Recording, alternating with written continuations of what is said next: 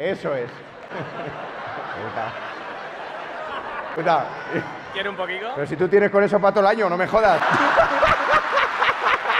¿Qué tiene ahí? Llevo tres ya. Se está pasando a la vejiga de tu novia.